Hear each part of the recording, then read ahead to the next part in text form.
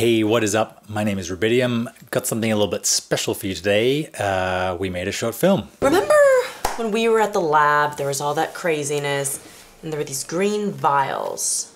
I remember the fire, the explosions, broken glass everywhere. Well, there were these green vials, something that the madman was working on. They were glowing, almost breathing. I think they were alive. Stick around to the end of the episode to see the rest of that. The reason I went to all the trouble of writing, uh, directing, and editing a short film is that I wanted to talk about two person dialogue how to shoot it, how to make it look good, how to make it work for you.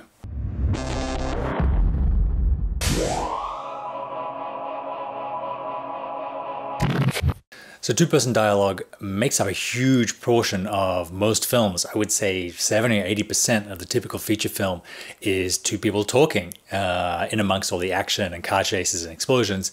It's information, it's exchange, it's um, you know, character and story are revealed through dialogue. As a filmmaker, you spend a lot of time getting this kind of um, shot. Now, the kind of gold standard of uh, two person dialogue is to do an OTS on the single, meaning you have one person's face and in the foreground you have just a little piece of the other person's shoulder. This gives depth to the shot because now not only do you have background, but you have foreground, so your subject is sort of sandwiched between two other planes. It just adds a lot of dimension and adds a lot of polish uh, to your final product. But there's an issue with this. The difficulty is that um, people never sort of stand or sit exactly where they are when they talk. The relationship between the two people in conversation changes radically as people sit or stand or move in or move out.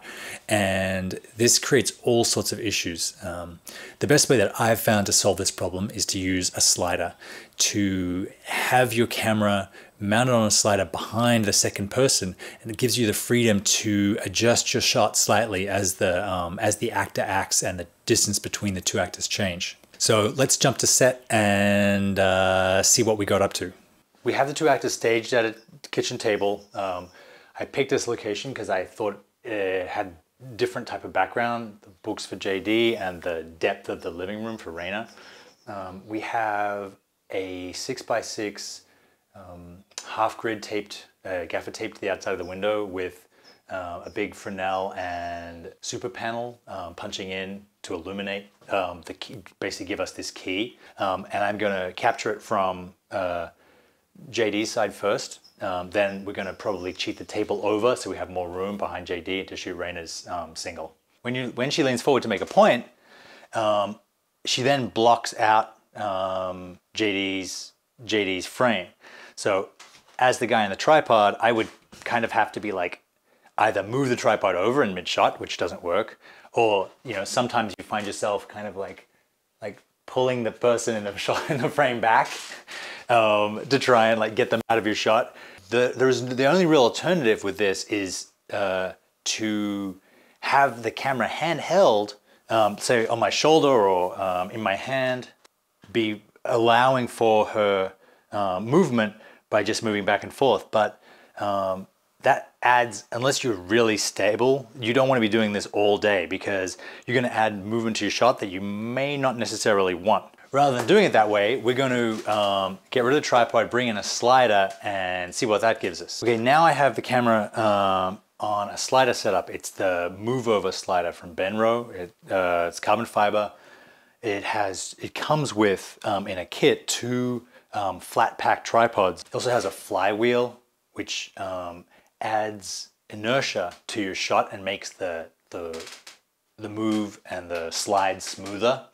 Um, so I'll roll on this again on the C200 till then. So now I can be on James, Reina can move in, and I can just slide across here very innocuously um, in a way that doesn't interrupt the flow. And then when she leans back, I can slowly drift across and take my, uh, you know, OTS again. So I had each actor do about three or four takes of each side.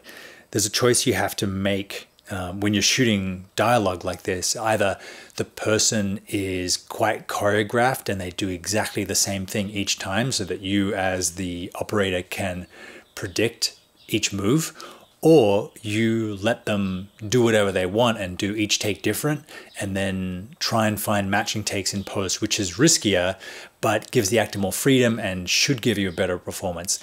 There's no right way and no wrong way. One um, one way just gives more emphasis to the final image and the flow of the cut, and the other way gives more emphasis to the performance. And each director has to choose what they think is the priority. Now we're doing our master, um, so we have something to cut to. I originally had it locked off, but I realized that with the slider on the kitchen bench here, I can slide back and forth and sort of like um, get a little bit more dynamicism in the master um, if I move the lights out and, and, and light it in a slightly different way. So that's what we're gonna do. Try, try a moving master um, and be that have the camera move moves motivated by who's talking and where the um, uh, where the attention is. So these actors that we worked with, absolute pros, uh, Reina Guthrie and JD Brown, they were able to give really great performances that were subtly different each time, and they were alive and fresh um, and uh, really engaged.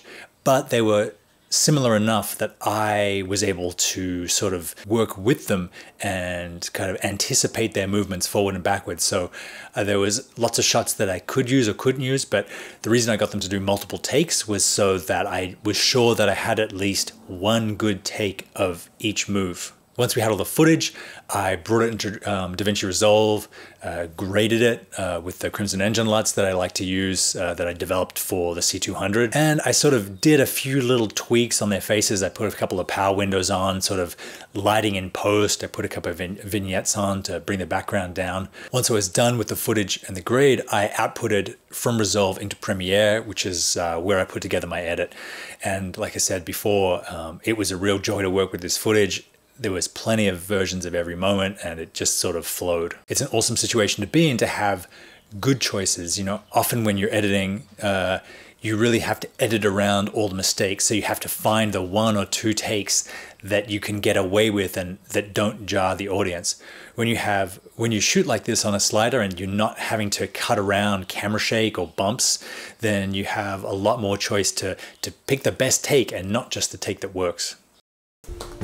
Tom. Do you have a second? Sure. A second. Can I sit down? By all means. Remember when we were at the lab, there was all that craziness, and there were these green vials? I remember the fire, the explosions, broken glass everywhere. People were shooting at us and we were running for our lives. I didn't exactly have time to take inventory. Well, there were these green vials, something that the madman was working on. They were glowing, almost breathing.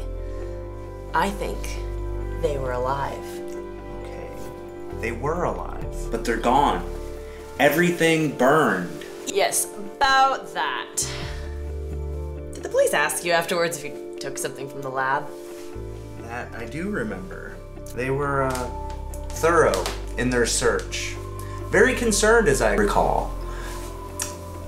Fear of contamination? Yes, I do remember that. And? What? You asked me if I remember the samples and about how the police asked me about them. Yeah, no, that's good. I'm really glad we got all that figured out. Why would you ask me about something if you didn't have something else to add? Oh, yes, I do.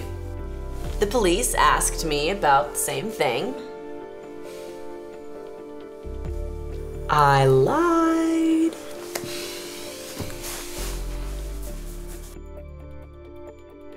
I hope you guys enjoyed that. Uh, I hope we showed how by using a slider in your two-person dialogue scenes, you can get more control, more fluidity, um, hopefully making for better shots that up to better scenes, and then at the end of the day, a better film. Thanks very much for watching. I hope to do a bunch more of these, uh, time and resources permitting. Leave your comments below if you liked what we did. Uh, hit the notification button so you get more videos from us, and uh, I will see you next time.